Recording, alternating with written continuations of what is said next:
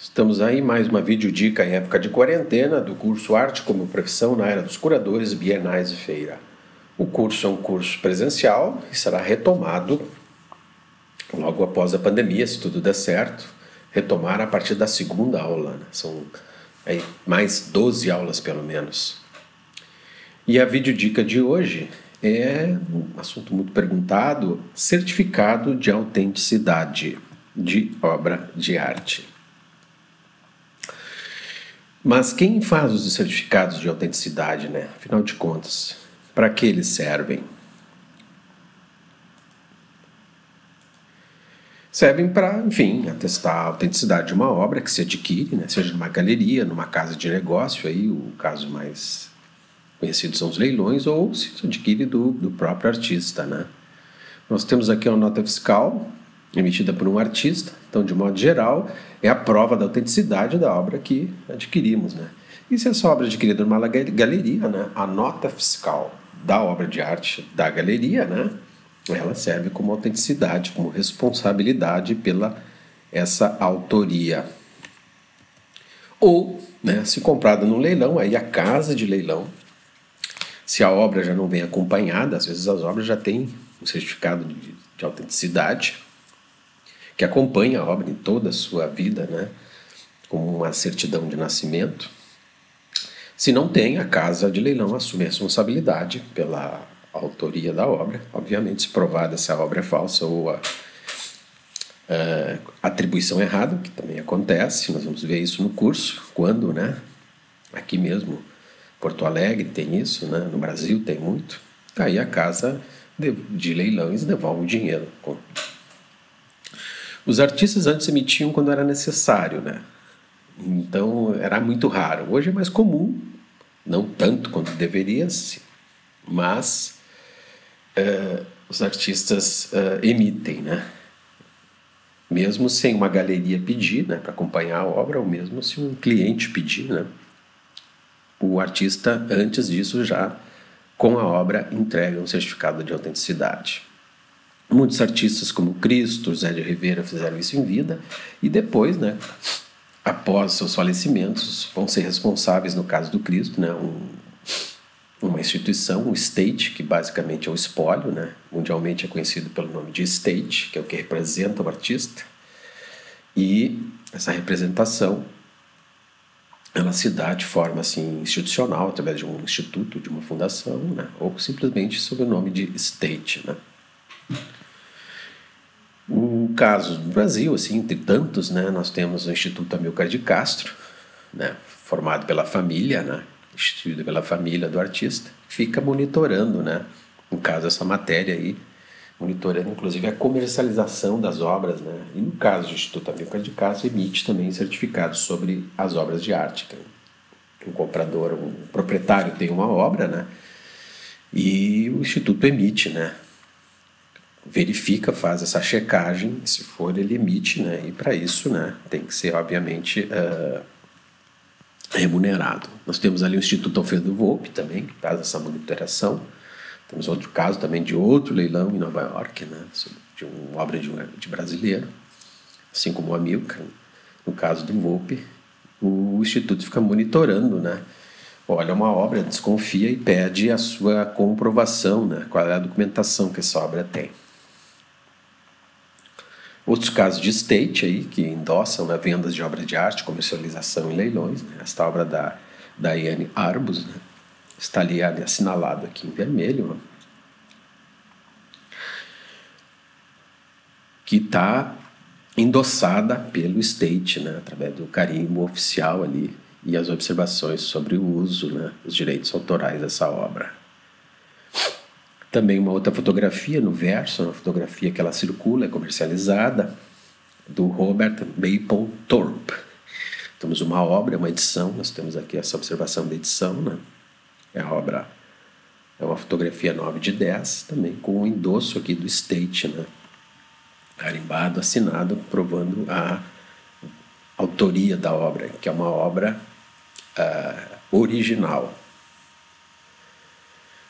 Houve um tempo em que negociantes de arte emitiam certificados. Nós temos aqui no centro, Daniel Wildenstein, foi um grande comerciante de arte, editor de revista de negócios de arte na França, né? E que ele, por exemplo, ele emitia certificados de autenticidade de vários artistas e, inclusive, era especialista mundial em vários artistas também, como Monet, né?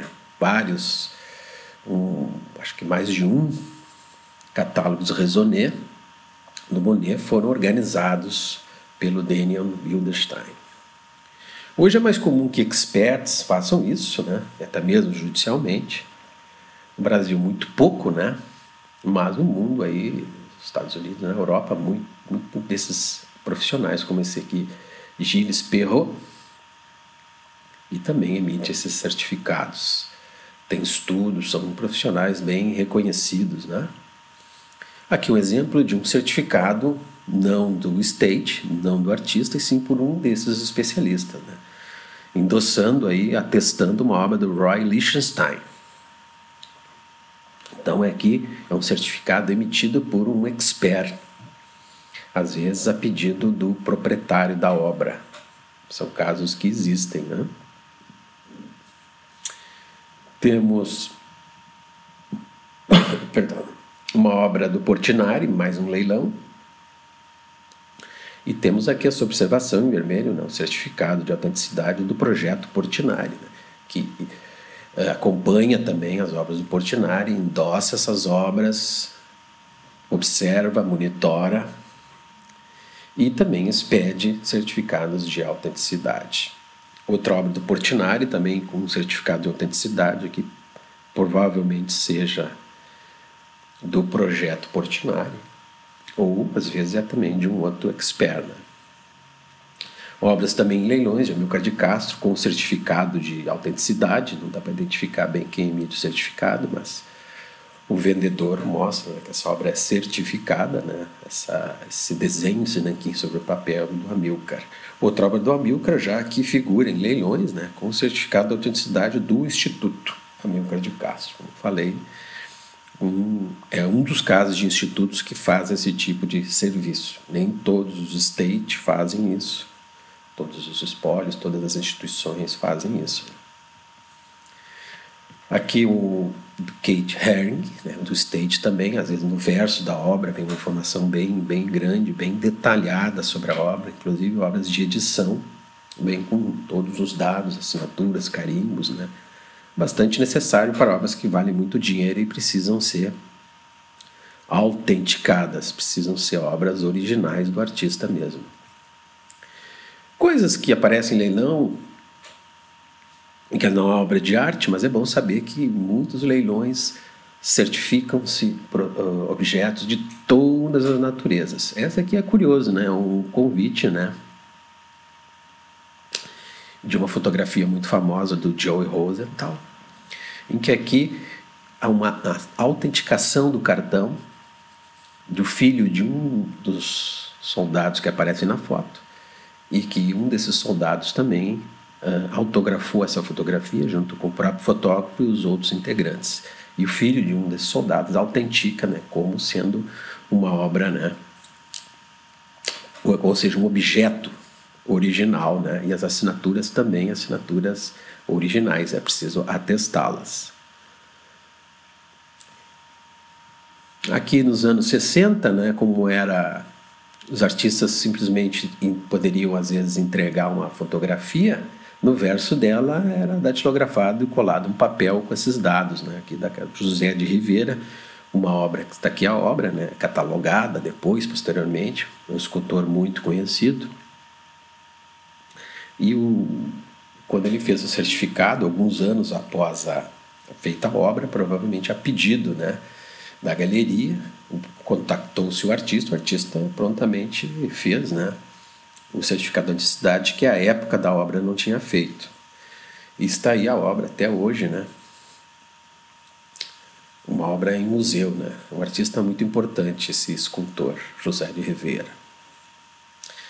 Outro grande artista, né, Jacques Lipchitz, lá do princípios do século XX, da escultura, dos relevos cubistas, também ali em 1959, fez esse certificado, até para atestar o objeto aqui, que é um objeto em bronze. Ele fez, como ele menciona ali, né, a obra, ele faz um pequeno histórico da obra ali, a obra feita em gesso e depois ela foi passada algumas cópias para pedra, né?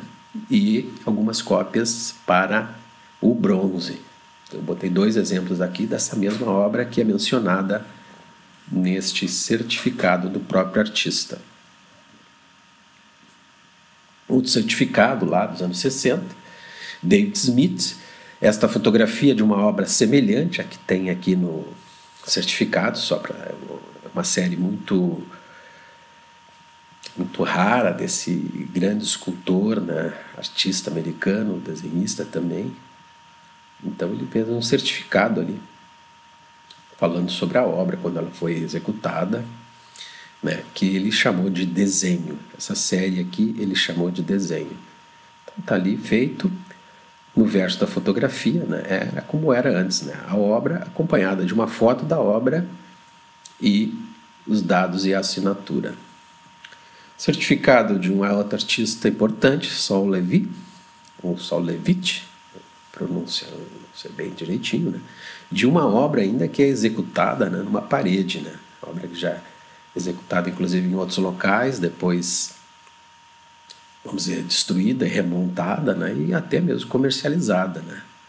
Um artista bastante importante, já falecido, mas que emitia lá os certificados também, descrevendo as cores do trabalho, né? e até mesmo quem participou dos, quem, quem participava de marcar os, o, o, desenho na parede, né? e botava o nome das pessoas. Muito interessante esse certificado do Sol Levitt. Há muitos sites na internet, principalmente sites americanos, são as dezenas ensinando, né, orientando como fazer um certificado de autenticidade, inclusive online. Né, você preenche os dados da obra ali e aí sai o certificado bonitinho. Esse é um dos das quase duas dezenas de sites que eu encontrei que mostra ali um dos certificados, né, que é emitido pelo site ali pelo o modelo, né? O que ele emite é um modelo, né? O quem emite é o artista. Então, a gente tem esse aspecto aí de um diploma, né? Não é preciso ser tão elaborado assim, né? Não é um diploma de, de, de doutorado de ministro, mas é um então não pode dar essa aparência tão assim, mas enfim, é um, uma tendência. Tem pessoas que gostam e fazem, né? Inclusive hoje em dia com QR Code, essas coisas, as informações das obras. Esse site também, você entra lá, preenche e emite o certificado. Ele lhe auxilia a fazer esse certificado de autenticidade, né? o SAT Art, que é um site de colecionador né? que banca ele. E tem lá, você acessa o site e faz esse certificado online. Né? Bem simples, né? Mas muito bom esse tipo de certificado. Artistas fotógrafos já é muito comum eles terem isso, né? Nós temos aqui o Andreas Murauer, Murauer é um alemão que tem os certificados, ele carimba, põe selos de baixo relevo atrás da fotografia que é comercializada. Que eu gostaria de observar aqui é os dados em que ele acrescenta aqui, ó, não está muito nítido, me desculpem, mas é importantíssimo, né? Aqui no caso da fotografia, né? tem isso aqui, ó, a tiragem da fotografia. Caso ele comercializa 11 desta foto, e esse é o exemplar número 3, né? com todos os detalhes ali, o tamanho, o ano, o título, muito completo, né? muito bacana esses certificados que o Andreas Murauer faz no comércio da fotografia, que é um caso à parte aí do comércio de arte, principalmente nos dias de hoje, né? a explosão do comércio da fotografia, como emitir até os certificados. Museu de Arte do Rio Grande do Sul, algumas obras, o artista, ao doar a obra, apresenta junto, né, espontaneamente, né, um certificado, como o André Petri, uma das obras que estão no MAGS, recentemente, 2012, ingressaram no acervo. Esta obra tem aí um certificado de autenticidade bem elaborado, inclusive com orientações né, sobre o trabalho, com um trabalho bem sofisticado do André Petri, dessa fase aí das cores.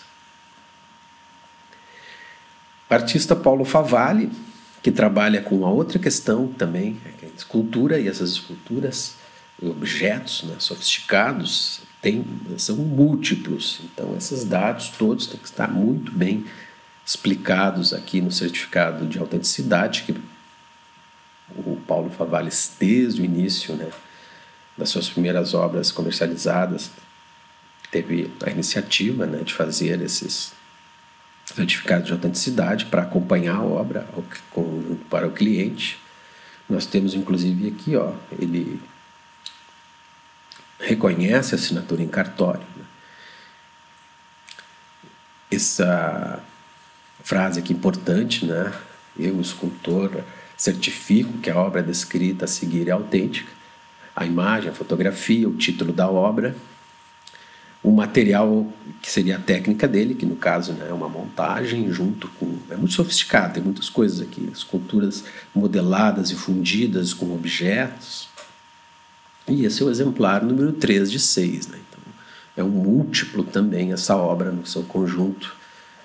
É um total de seis, esse é o exemplar número 3. Um detalhe que eu já havia mencionado sobre as obras do Paulo Favalli, ele sempre coloca o peso da escultura, uma coisa bastante legal. Né? Coloca o fundidor, data da fundição, isso é bem importante. Né? A obra é de 2016, a partir da primeira obra que ele executou, como são seis, ao decorrer de anos essas, essas obras são comercializadas. Né? Enfim, surge um cliente, essa obra pode estar pronta, pode ser refeita, né? feita cada uma das seis unidades. E aí essa informação ele acrescenta, Paulo Favalli, no certificado de autenticidade. Essa é obra de 2006, 16, fundida e montada em 2019. E, de modo geral, claro que o Paulo Favalli tem questões assim a serem incluídas além do normal no certificado de autenticidade. Mas, de modo geral, uma pintura, um desenho, uma gravura, né? Mais arraigadas as, as linguagens, as técnicas. Né? Temos aqui como deve ser um, um certificado simples de uma obra dessa natureza, né?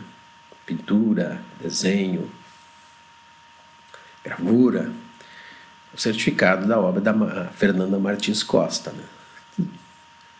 Dizendo ali que é um certificado de autenticidade de obra, o título da obra, o ano, a técnica, o tamanho e a reprodução da obra. Né? E o ano que foi feito os certificados. No curso presencial, a gente vê muitos outros exemplos. São, esse é um universo muito interessante né, das autenticações os modelos de certificados, as situações, né, os casos. Nos cursos aí sempre tem muita gente, se há muitos casos que eu mesmo nunca vi, né? E a gente tem aí que resolver a, dar conta né, dessas situações que o mundo da arte nos apresenta.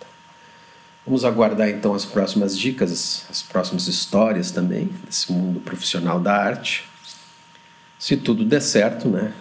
Vamos retomar assim que possível o curso. Nós temos mais 11 aulas, Arte como Profissão na era dos curadores, bienais e feiras. Esse assunto que a gente tratou, né, no mercado comercial, galerias, né, vemos vários assuntos que já vimos inclusive aqui nas dicas. Para inscrições do curso presencial, reservar sua vaga ali, porque o curso vai continuar a partir da segunda aula. Temos aqui o e-mail da Telelivre. Então, todos muito obrigado. Até a próxima dica.